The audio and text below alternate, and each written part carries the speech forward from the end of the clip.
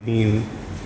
والصلاة والسلام على سيد المرسلين وعلى آله الطاهرين وأصحابه الكاملين. رب اشرح لي صدري ويسر لي أمري واحلل عقدة من لساني يفقه قولي. أما بعد فأعوذ بالله من الشيطان الرجيم. بسم الله الرحمن الرحيم. والفجر وليال عشر والشفع والوتر. والليل إذا يسر هل في ذلك قسم لذي حجر؟ وقال رسول الله صلى الله عليه وسلم الصوم عرفة أحتسب على الله أن يكفر السنة التي قبله والسنة التي بعده. وقال أيضا من كان له سعة فلم يضحي. فلا يقربن مسلانا او كما قال علیہ الصلاۃ والسلام.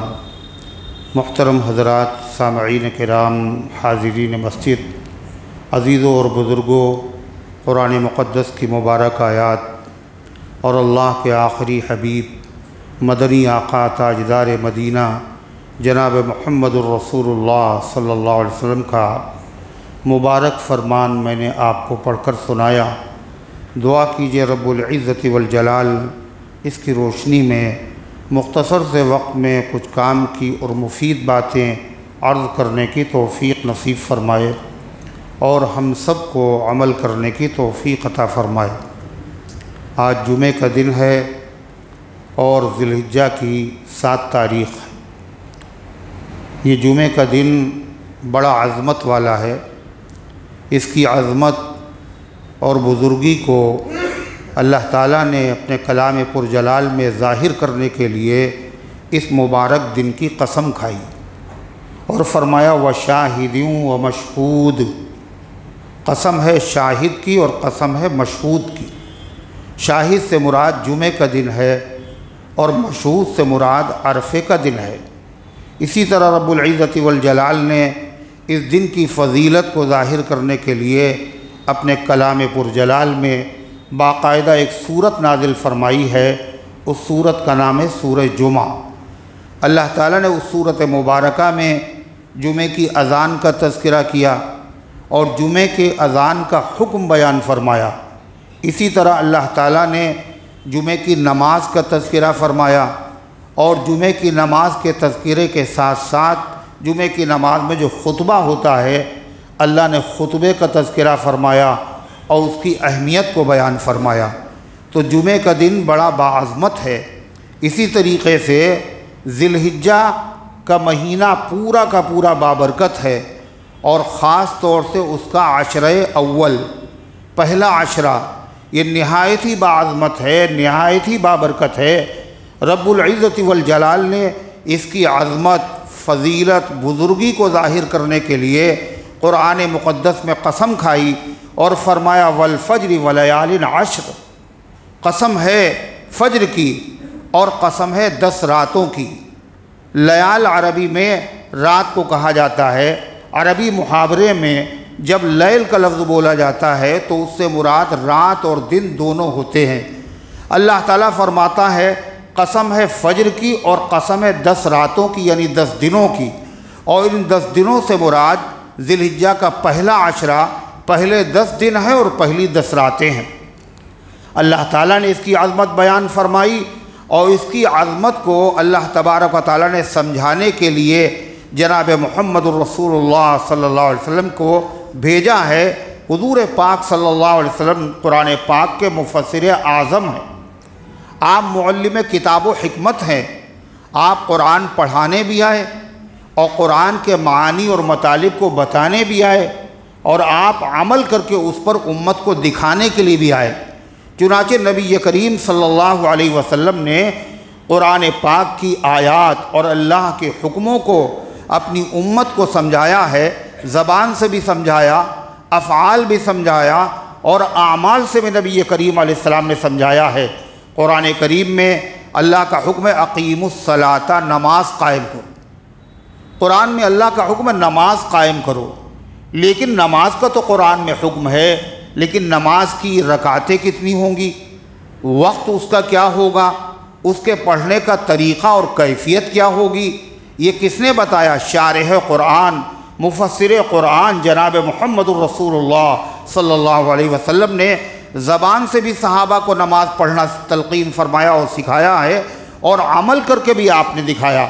آپ نے فرما سلو کما رائی تمونی اسلی ویسے نماز پڑھو جیسے تم مجھے نماز پڑھتے ہوئے دیکھ رہے ہو۔ اسی طریقے سے نبی کریم صلی اللہ علیہ وسلم نے والفجر ولیالن عشرین کی تفسیر فرمائی اور آپ نے امت کو بتایا کہ یہ دن معمولی نہیں یہ دن بڑے عظمت والے ہیں اور بڑے فضیلت والے ہیں اور بڑی شرافت اور بزرگی والے ہیں۔ افسوس یہ ہے کہ امت ان کی فضائل سے واقف ہے اور امت اس کے فضائل سے اور بزرگی سے اور شرافت سے لابلد ہے۔ اللہ کے پیغمبر علیہ السلام نے فرمایا مامن ایامن العمل الصالح فیہن احب اللہ تعالی من هذه الايام آپ نے فرمایا کہ کوئی بھی نیک عمل نماز ہو، فرائض ہوں، واجبات ہوں، سنن ہوں مستحبات ہوں یا صدقہ ہو، یا خیرات ہو، یا تلاوت ہو، یا اسی طریقے سے تسبیح ہو، ذکر اور اذکار کوئی بھی عمل اللہ تبارک و تعالیٰ کو ان مہی، ان مبارک دنوں سے زیادہ کسی دن میں پسند نہیں ہے۔ اللہ کی عبادت کے لیے سب سے بہترین زمانہ ذی کا پہلا عشرہ ہے۔ نبی کریم صلی اللہ علیہ وسلم کا فرمان اور آپ کا انداز خطاب یہ بتا رہا ہے کہ کوئی دن ان دنوں سے افضل نہیں اس کا مطلب کیا ہوا؟ رمضان مبارک کو تو امت افضل سمجھتی ہے، اس کی فضیلت و عظمت سے واقف ہے، لیکن امت ذلحجہ کے عشر اولا کی فضیلت سے نا واقف ہے۔ اس لیے حضور پاک علیہ السلام نے یہ انداز اختیار فرمایا کہ یہ مبارک دن اور یہ مبارک راتیں رمضان سے کم نہیں ہے رمضان ہی کے ان کو برابر سمجھو۔ اسی لیے آپ نے فرمایا، ان میں سے ہر دن کا روزہ ایک سال کے روزے کے برابر۔ اور آپ نے فرمایا، ہر رات کی عبادت، شب قدر کی رات کی عبادت کے برابر ہے۔ رمضان میں ایک شب قدر ہوتی ہے اور ذلحجہ میں امت کو کتنی راتیں ملتی ہیں؟ ولیالن عشر، دس راتیں ہیں۔ یہ ٹھکانہ ہے اللہ کی نوازش کا، اللہ کی عطا کا۔ تو ایک تو جمعے کا دن فضیلت والا اور پھر یہ جمعے کا دن پڑ رہا ہے عشرہ ذلحجہ میں۔ عشرہ ذلحجہ یہ بھی عظمت والے ہے۔ ظاہر ہے جب جمعہ خود فضیلت والا ہے اور حرمت والے دنوں میں جب آئے گا تو اس کی فضیلت میں مزید اضافہ ہو گیا۔ کہتے ہیں نور علی نور یعنی جمعہ تو نور ہے اور پھر جمعہ کن دنوں میں پڑھ رہا ہے؟ سب سے فضیلت والے، سب سے بابرکت ایام عشر ذلحجہ میں آج سات تاریخ ہے۔ اللہ تبارک و تعالیٰ کی شان دیکھیے اور مالک کا کرم دیکھیے کہ پورے ذلحجہ کو بہت سارے مہینوں پر فضیلت حاصل ہے۔ یہ مہینہ عشر حرمت میں سے ہے، جن کی عظمت اللہ نے قرآن میں بیان کی۔ یہ مہینہ حج کے مہینوں میں سے ہے۔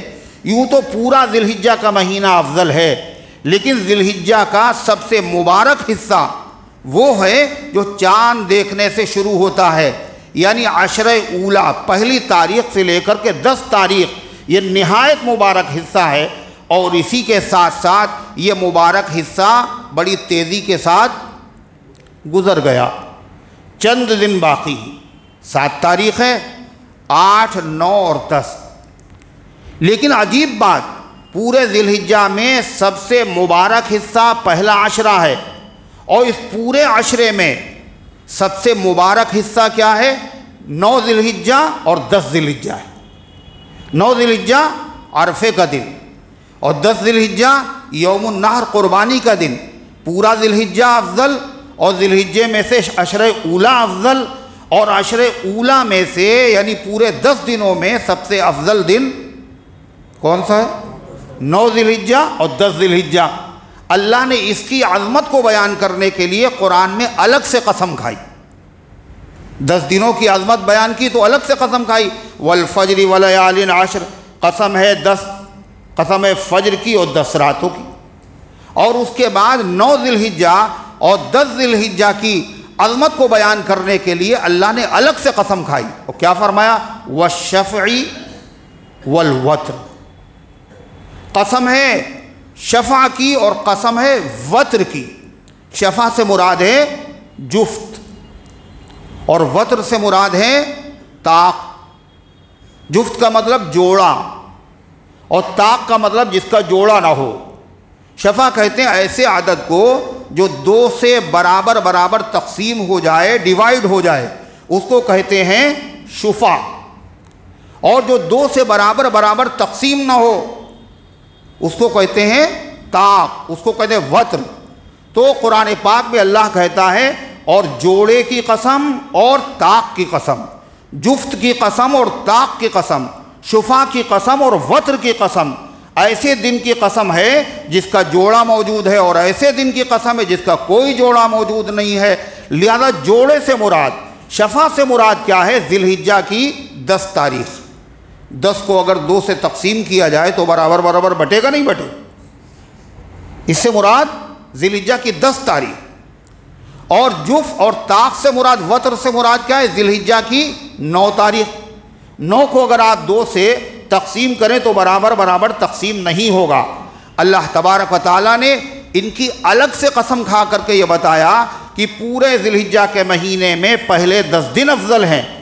ان دس دنوں میں نو تاریخ بھی شامل ہے اور دس تاریخ بھی شامل ہے۔ لیکن اللہ نے الگ سے اس کی قسم کھا کر کے یہ بتایا کہ پورا عشرہ ذلحجہ افضل ہے۔ لیکن پورے عشرہ ذلحجہ کا خلاصہ اور کریم اور اس کا سب سے اعلیٰ اور سب سے عمدہ حصہ کیا ہے، وہ نو ذلحجہ ہے اور دس ذلحجہ ہے۔ یوں تو اللہ نے جو زندگی دی ہے، پوری زندگی نہایت قیمتی ہے، لیکن اس زندگی کا سب سے قیمتی حصہ جوانی ہے۔ ایسے پورا ذلحجہ افضل ہے۔ پورے ذلحجے کا عشرہ اولا پہلے دس دن بہت افضل ہیں ان دس دنوں میں سب سے افضل دن کون سا ہے؟ نو ذلحجہ اور دس ذلحجہ نو ذلحجہ کیوں افضل ہے؟ کہ یہی وہ دن ہے جس کے بارے میں فرمایا نبی کریم صلی اللہ علیہ وسلم نے، اگر کوئی اس کا روزہ رکھے گا تو دو سال کے روزوں کا ثواب ملے گا۔ یہی وہ دن ہے جس میں حجاج کرام میدان عرفات میں جمع ہوتے ہیں۔ مال خرچ کر کے، مشقت برداشت کر کے جب میدان عرفات میں جمع ہو جاتے ہیں اور اللہ کو پکارتے ہیں، تو اللہ فرشتوں سے کیا کہتا ہے؟ ما ارادہ اولا آخر ان لوگوں کا مقصد کا کیوں آئے یہ؟ بوڑھے بھی ہیں، نوجوان بھی ہیں، بزرگ بھی ہیں لت پت ہیں، چلنے کی طاقت نہیں ہے، اتنی مشقت برداشت کر کے اس میدان میں کیوں آ گئے؟ اور فرشتے کہتے ہیں، اللہ اس لیے آئے ہیں کہ آپ ان کو معاف کر دیں۔ تو اللہ تبارک و تعالیٰ فرماتا ہے، تم گواہ رہو، میں نے سب کو معاف کر دیا۔ تم گواہ رہو، میں نے سب کو معاف کر دیا۔ سب سے زیادہ اللہ جس دن میں اپنے بندوں کو معاف کرتا ہے، وہ عرفے کا دن ہے، نو ذی الحجہ ہے۔ اللہ کی شان دیکھیے، جو حج کرنے گئے ہیں، ان کو تو اللہ نے وہاں معاف کر دیا اور شیطان کو بڑی تکلیف ہوتی ہوتی۔ سال کے تین سو پینسٹھ دنوں میں شیطان کا دل اتنا کبھی نہیں دکھتا اور کبھی اتنا وہ پریشان نہیں ہوتا جتنا نو تاریخ کو، عرفے کے دن نو ذی کو پریشان ہوتا ہے، وہ اپنے سر کے اوپر خاک ڈالتا ہے، مٹی ڈالتا ہے، چیختا ہے، چلاتا ہے بل بلاتا ہے۔ ہائے لٹ گئے، برباد ہو گئے۔ اتنی محنت سے میں نے گناہ کرائے تھے اور گناہوں میں میں نے ان کو ڈبو دیا تھا۔ مگر مالک کو دیکھو، ایک لمحے میں اللہ نے اتنے بڑے مجمع کو معاف کر دیا۔ جو خدا حاجیوں کو وہاں بلا کے معاف کر رہا ہے اور پیسے خرچ کرا کے مشقت اٹھا کے ان کو معافی دے رہا ہے۔ اللہ کی شان کریمی دیکھیے، پورے عالم میں اللہ نے فرمایا، جب نو ذلحجہ آ جائے تو تم روزہ رکھ لینا۔ اگر تم نو نو ذلحجہ کا روزہ رکھو گے تو اللہ تعالیٰ ایک سال کے پچھلے گناہ اور ایک سال کے اگلے گناہ معاف کر دے گا۔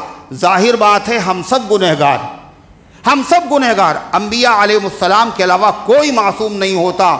اور یہ بھی حقیقت ہے، اللہ کے وہاں اگر پاک صاف ہو کر کے جائیں گے تو کچھ اور بات ہو۔ اور گناہوں میں آلودہ ہو کر کے جائیں گے تو کچھ اور معاملہ ہوگا۔ اللہ کو منہ دکھانا ہے۔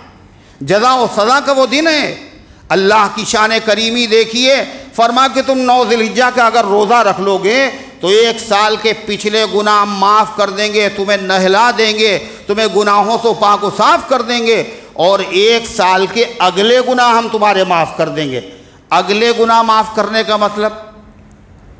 یعنی آئندہ ایک سال تک اللہ تعالیٰ گناہوں سے بچنے کی توفیق عطا فرما دیں گے، یہ کم بات نہیں ہے۔ اللہ اگر توفیق نہ دے، انسان کے بس کا کام نہیں۔ بڑے سے بڑا ولی اور متقی اور پرہیزگار بھی گناہوں سے بچ نہیں سکتا۔ اللہ تعالیٰ کی توفیق کے بغیر اسی لیے کہا گیا، لا حول ولا قوت الا باللہ۔ کیا معنی ہیں اس کے؟ کوئی طاقت ایسی نہیں ہے جو بندے کو گناہوں سے بچا سکے۔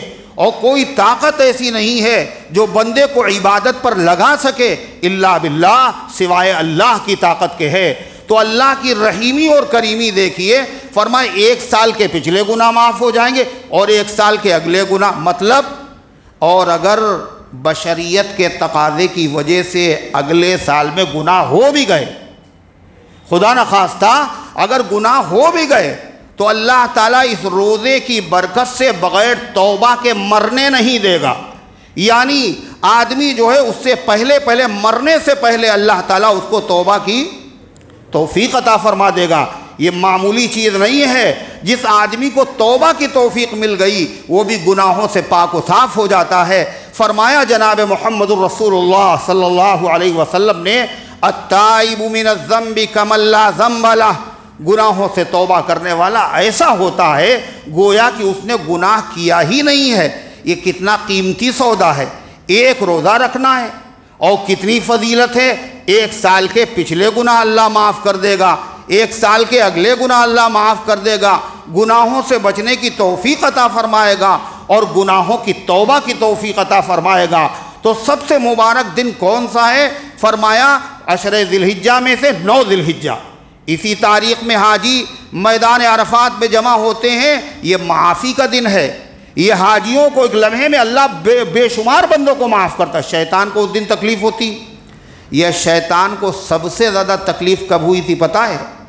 سن دو ہجری میں، بدر کے میدان میں، جب اللہ کے محبوب صلی اللہ علیہ وسلم اور آپ کے جانثار صحابہ جو گنتی میں تین سو تیرہ تھے، نہتے تھے اللہ تبارک و تعالیٰ نے جب کفر اور شرک کے اماموں کو اللہ تبارک و تعالیٰ نے مغلوب کر دیا اور اپنے بندوں کو غالب کر دیا تھا، اتنی تکلیف شیطان کو اس دن ہوئی تھی، شیطان خود میدان بدر میں موجود تھا اور حضرت جبریل علیہ السلام کو دیکھ کر شیطان میدان سے بھاگ کھڑا ہوا۔ جتنی تکلیف اس دن ہوئی تھی، اتنی تکلیف کبھی نہیں ہوتی۔ اور سال کے تین سو پینسٹھ دنوں میں شیطان کو سب سے زیادہ تکلیف کب ہوتی ہے؟ نو ذلحجہ کو، جب اللہ میدان عرفات میں بے شمار حاجیوں کو اللہ تعالیٰ گناہوں سے معاف کر دیتا ہے، گناہوں سے پاک کر دیتا ہے، لہذا یہ فضیلت ہمیں بھی کیسے حاصل ہو سکتی ہے؟ ہم لوگ روزہ رکھیں۔ کیا ارادہ ہے بھائی؟ انشاءاللہ۔ انشاءاللہ روزہ رکھیں گے۔ اللہ تعالیٰ ہم سب کو توفیق عطا فرمائے۔ اور فرما کہ دوسرا دن جو اللہ تعالیٰ نے فرمایا سب سے افضل ہے، وہ کون سا ہے؟ دس ذلحجہ دس ذلحجہ کو کیا ہوتا ہے؟ دس ذی الحجہ کو فرمایا کہ طواف زیارت جو حج کا عظیم الشان رکن ہے، طواف زیارت وہ ادا ہوتا ہے۔ دس ذی الحجہ کو کیا ہوتا ہے؟ رمی جمرات، شیطان کو کنگری ماری جاتی ہے۔ دس ذی الحجہ کو کیا ہوتا ہے؟ قربانی کا اہم ترین فریضہ اور اہم ترین عبادت ادا کی جاتی ہے۔ دس تاریخ کو کیا ہوتا ہے؟ حاجی لوگ اپنا حلق کراتے ہیں، طواف زیارت کرتے ہیں۔ تو یہ دن بڑا مبارک ہے۔ اس میں اللہ تبارک و تعالی اپنے بندوں کو محبوب ترین عبادت ادا کرنے کی توفیق عطا فرماتا ہے۔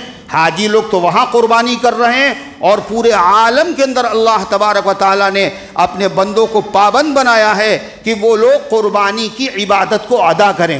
اور قربانی کی عبادت کیا ہے؟ ام المومنین، حضرت عائشہ صدیقت القبرہ سلام اللہ علیہ فرماتی ہیں کہ یوم النحر میں دس ذلحجہ کو اللہ کو قربانی سے زیادہ کوئی عمل بھی پسند نہیں۔ قربانی کرو، لیکن یہ قربانی واجب ہے، سنت نہیں ہے، واجب ہے۔ اللہ تعالیٰ نے قرآن پاک میں دو چیزوں کا حکم دیا اپنے محبوب صلی اللہ علیہ وسلم کو، اور آپ کے واسطے سے امت کو حکم دیا ہے، کیا کہا؟ فصل رب کا ونحر اے پیغمبر، نماز ادا کیجیے۔ اے پیغمبر کے ماننے والوں، نماز پڑھا کیجیے۔ نماز سے مراد ہے عید الاضحیٰ بقرعید کی نماز۔ ونحر اور قربانی کیا کیجیے۔ عید کی نماز جس طرح واجب ہے، ایسے قربانی کرنا بھی واجب ہے۔ کس پر واجب ہے؟ بہت سارے لوگ یہ سمجھتے ہیں کہ گھر کا جو بڑا ہے، وہ اگر قربانی کر لے تو سب کی طرف سے ادا ہو جائے گی۔ ایسا نہیں۔ اگر بیٹا کر لے تو باپ کی طرف سے ادا ہو گیا ایسا نہیں۔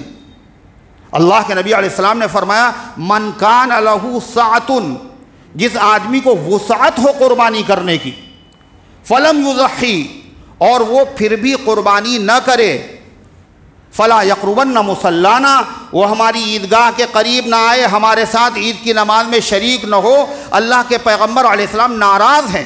جس کے پاس وسعت ہو کیا مطلب؟ اگر باپ کے پاس ہے، اولاد کے پاس نہیں ہے، تو باپ پر واجب۔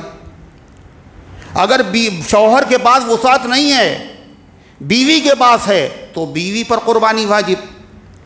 اگر بیوی کے پاس بھی نہیں ہے، باپ کے پاس بھی نہیں ہے، ماں کے پاس بھی نہیں ہے، اولاد کے پاس وسعت تو اولاد پر قربانی واجب وسعت کا مطلب کیا ہے؟ ساڑھے باون تولہ چاندی کی مالیت۔ کا جو مالک ہو۔ آج کل موجودہ ریٹ کے اعتبار سے ستائیس ہزار روپیے کی ساڑھے باون تولہ چاندی ہوتی ہے۔ چاندی کا مالک ہو یا اتنے سونے کا مالک ہو یا کیش روپیہ اس کے بعد اتنا ہو، یہ سونا اور چاندی دونوں ملا کر کے ستائیس ہزار کا ہو جائے، یا یہ بھی نہیں ہے، اس کے بعد غیر ضروری سامان، پرانا فرنیچر پڑا ہوا ہے جو کام کا نہیں ہے اس کے بعد تانبے اور پیتل کے اور غیر ضروری سامان برتن رکھے ہوئے ہیں۔ ان کو اگر جوڑ لیا جائے اور ستائیس ہزار کے برابر ہو جائے، جو بھی مالک ہوگا اس کے اوپر قربانی واجب ہوگی۔ اگر کاروبار ایک میں ہے، چولہا گھر کا ایک ہے، لیکن اگر چار بیٹے ہیں، چار بیٹیاں ہیں، ہر بیٹی کے پاس ستائیس ہزار کی مالیت ہے۔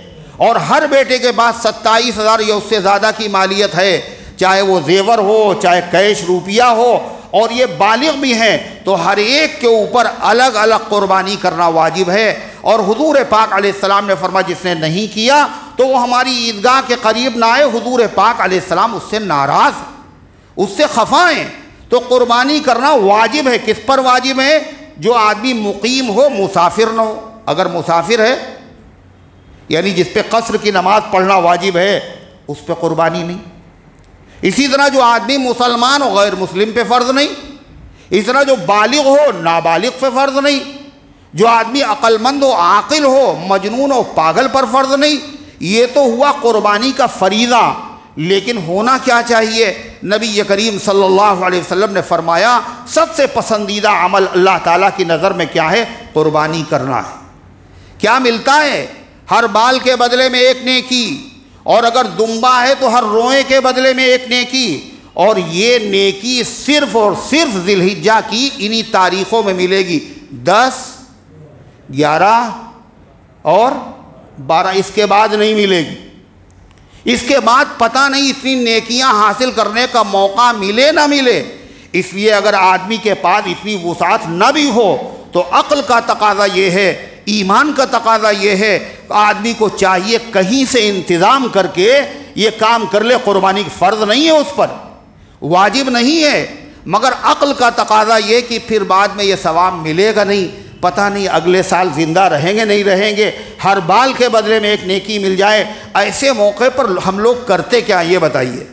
اگر کہیں موقع سے کوئی پلاٹ مل رہا ہو اور اگر موقع کی کوئی دکان مل رہی ہو اگر موقع کا کوئی مکان مل رہا ہو اور جیب اجازت نہ دے رہی ہو، اتنے تو ہے ہی نہیں ہمارے پاس جس میں یہ دکان خرید لیں مکان خرید لیں جیب اجازت نہیں دے رہی، لیکن یہ بھی ذہن میں ہے، اگر چوک گئے تو پھر، چوک گئے تو پھر ملے گا نہیں۔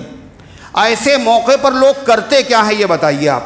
پڑھا لکھا ہو، غیر پڑھا لکھا ہو، معمولی سمجھ والا آدمی ہو، زیادہ سمجھ والا آدمی، سب لوگ کیا کرتے؟ ارے کیا کرتے؟ ادھار لیتے۔ بعد میں قرضہ ادا ہوتا رہے گا، مگر یہ اگر نکل گیا تو پھر نہیں ملے گا۔ دنیا کے معاملے میں ہماری عقل اتنی تیز ہے، اور دین کے معاملے میں ہماری عقل کہاں چلی جاتی ہے؟ قرآن کہتا ہے تو حبون العاجلہ و تذرون الآخرہ۔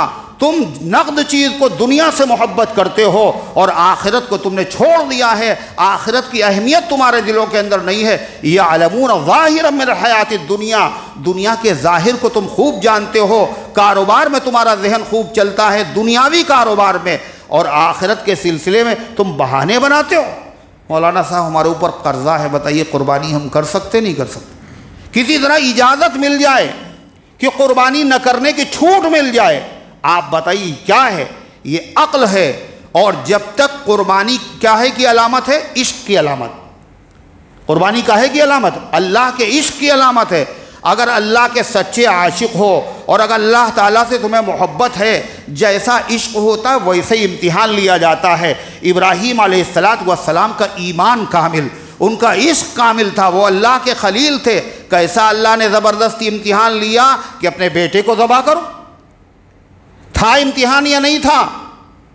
حالانکہ عقل یہ کہتی ہے، اے اللہ، بڑھاپے کی یہ لاٹھی ہے، امیدوں کا یہ مرکز ہے، دعائیں مانگ کر کے آپ سے حاصل کیا ہے۔ اے اللہ، اس کے علاوہ کوئی اور قربانی مانگ لیجیے، بیٹے کو قربان کرنے کا حکم نہ دیجیے۔ مگر ابراہیم علیہ السلام نے زبان سے کہا، بے خطر کود پڑا آتش نمرود میں عشق، عقل ہے محو تماشائے لبے بام ابھی۔